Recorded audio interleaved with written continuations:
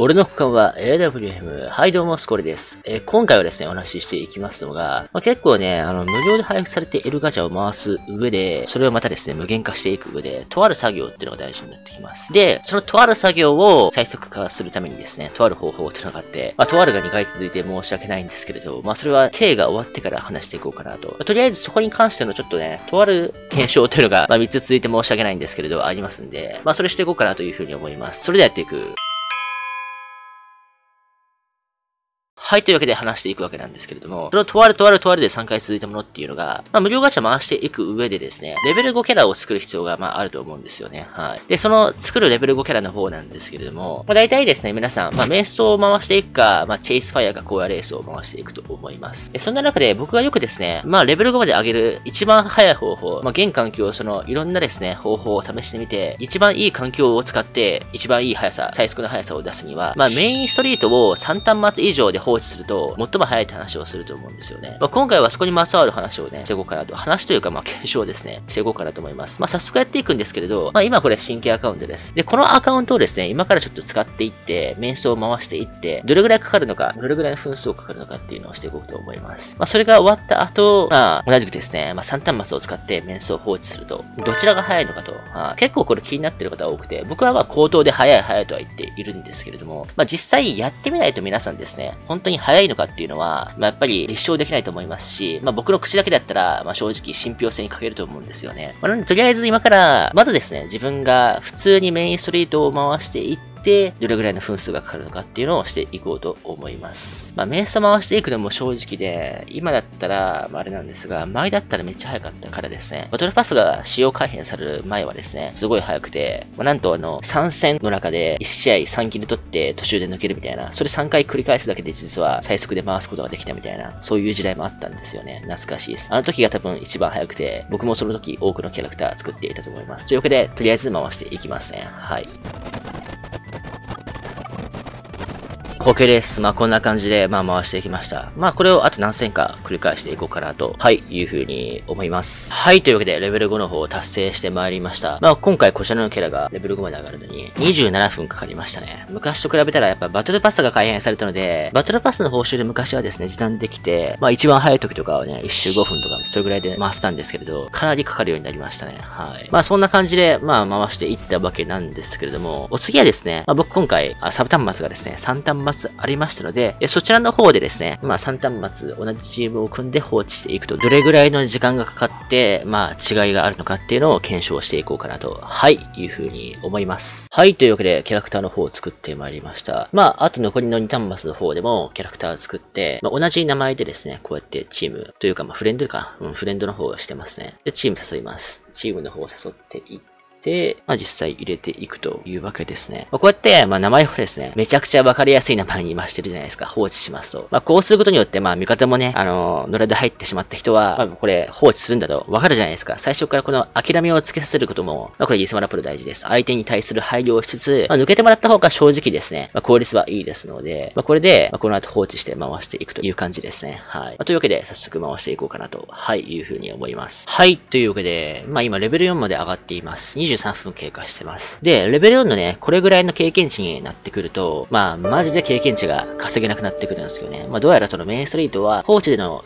経験値職に上限があるらしくてですね。まあ、ここら辺は、まあ、正直、メインストしなければいい話で、まあ、4まで上がった時点で、皆さんですね、まあ、チェイスファイアの方に切り替えて入っていくと OK というわけですね。はい。じゃあ早速ね、入っていこうかなと、はい、いうふうに思います。まあ、放するときは、車だけは選択した方がいいですね。無駄に待つ必要が出てきますからね。はい。はい、というわけで、キャラクターの方ですね、レベル5まで上がりました。で、今のチェイスファイアで8分かかりましたので、まあ、全ての時間を合わせて31分ですね。31分スコアラちょっと待て。それだったらさっきの23分より遅くなっているじゃないかと、えー、そのように思われる方いらっしゃるかもしれませんが、31分でですね、これ僕あの3キャラ作ってますんで、1キャラあたり、まあ、だいたい10分ちょいですね。まあ、10分でいいでしょう。はい。10分で回してるわけなんですよ。まあ、1キャラ回して自分で使って23分かけるのと、まあ、3キャラ回して31分かけて1キャラ10分で回すのやったら、まあ、断然後者の方が効率がいいじゃないですか。まあ、このように3端末以上あることによって、メンス放置でレベル上げ効率が大幅にまあ上昇するわけなんですよ。2端末だったら同じぐらいにしかならないです。で、4端末、5端末になるとめっちゃ早いです。特に、まあ、5端末になるとですね、まあ、確定でメインストリートが1分半で終わるようになるんですよね。速攻その試合の方終わりまして、1分半で終了すると。はい。でそこからチェイスファイア放置していくって形なんで、まあ、一人で回していくのと、まあ、大差ない。まあ、もしくはそれよりもですね、まあ、全然早い時間で回せるようになりますんで、効率がまあ、大幅にこれ上昇してくるというわけなんですよね。はい。ですので、端末をですね、まあ、昔買った端末みたいな、コアコードをまあ、ギリ起動するよねぐらいの端末を、まあ、皆さん持たれている方は、3端末、えもしもあるのであれば、こうやってね、放置していくことによって、キャラクターのレベルを5まで上げて、まあ、今後来るであろう無料ガシャのですね、効率を上げることができると。まあ、現状あるものの中ではですね、まあ、ちょっとこの、今回の方法を使うことってのは、まあ正直ないんですけれども、しかしですね、まあ今後そうやってまたレベル5が必要になるタイミングというのが必ずありますんで、まあ直近っていうと、まあ、ワンパンマンコラボですね。はい。ワンパンマンコラボの栄光勲章2つ配布されておりました。まあこれを受け取るために、まあレベル5アカウントっていうのが必要となっていたわけなんですけれども、まあその時にも使っていけば、まあ正直仮にですね、レベル5アカウントがなくなっていたとしても、この方法で結構まあいい効率で引き続きですね、栄光勲章を受け取ることっていうのもできました。今後もそうやってですね、何かしらですね、レベル5キャラっていうのが必要になってくる時っていうのが必ずやってきますので、そういったタイミングでこの方法を使われてですね、回してみると、まあいいんじゃないかなと、はい、いうふうに思いますね。で、これですね、ちょっと今から別の検証しようかなと思いまして、まあ、回している時に僕思ったんですけれど、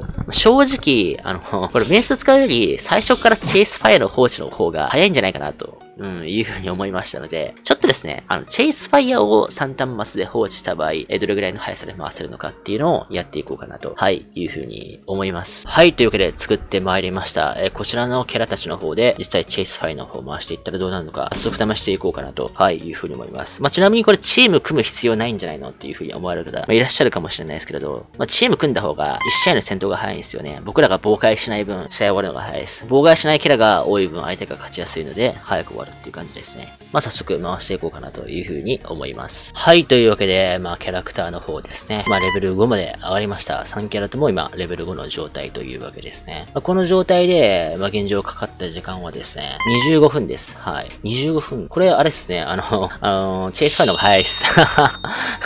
メンスト放置より、これ、チェイスファイアの方が、これ正直、これ早いっすね。はい。25分で回せるんだったら、早いっす。これ、しかも多分ですね、あの、1アカウントで、チェイスファイア回す方が、メインストリート回すよりも早いっす。ね、これまさかのね、うん、あのもう、もはやリスマル勢はですね、メインストリートをする時代はですね、終わったのかもしれないですね。はい。まあ、これによってね、メインストリート終焉の人、これからは、チェイスファイヤー集会が、え、最もですね、まあ、リスマラの上で最高効率を出せると。何事の時も、チェイスファイヤー。うん、リスマラする時は、必ずチェイスファイヤーと。はい。そういう風にしていくのが、この結果見るとですね、まあ、早いかなと。まあ、今回その、メインストリート、僕もね、普通に初期アカウントから自分でプレイして最初回したんですけれど、もう全部ね、15キル以上、まあ試合によっては30キルぐらい取ってですね、終わらせたんですけれども、今まではそうやってキル数多かったら早かったんですよ。うん、経験値取得できるのが、まあ、結構キル数と、まあ、勝利に依存しているんですけれど、勝利しつつキル数も多く取れば当然速くなっていたじゃないですか。まあ、なんですけれど、2ヶ月前とかにですね、メインストリートの取得経験値が下方修正されているんですよね。これあの、全然告知には書かれてないんですけれど、サイレント修正で下方修正されました。まあ、これによってですね、まあ、メインストリートの効率がおそらくそこで下がったんじゃないのかなと。東京グールドちょっと前ぐらいにですね、下方修正入ってますもんね。はい。まあ、ですので、まあ、今後は経験値取得するために周回、レジャーの方を周回するのであれば、メインストリートではなくて、チェイスファイアとはい。時代変わったなという感じですね。はい。いやまさかこんな結果がね、得られるとは思いませんでした。やっぱりね、検証して、まあ自分の中でも、まあ実験してみないとわかんないことっていうのは、まあ、僕でも全然多くありますし、まあ皆さんもわからないことありましたら、まあもちろんその、僕のね、動画のコメント欄に書いていただければ、まあ僕も検証はするんですけれど、まあ自分でもその確かめてみると、まあ僕が言ってることがもしかしたら間違っているかもしれません。まあ僕は正しいと思って、毎度その動画出してますし、まあ、サムネは釣りですけれど、動画内容で皆さん嘘をつく気はさらさらないんですよね。そんなこととしてもその無駄じゃないですか。うん、損なんですよ、長期で見て。うん、スコアラーどうせ嘘しかつかんのかみたいな風になるんですけれど、動画は僕ちゃんと作るっていう風に自分の中で決めてますんで、まあ、僕が間違っていた時は、単純に僕自身が、あの、間違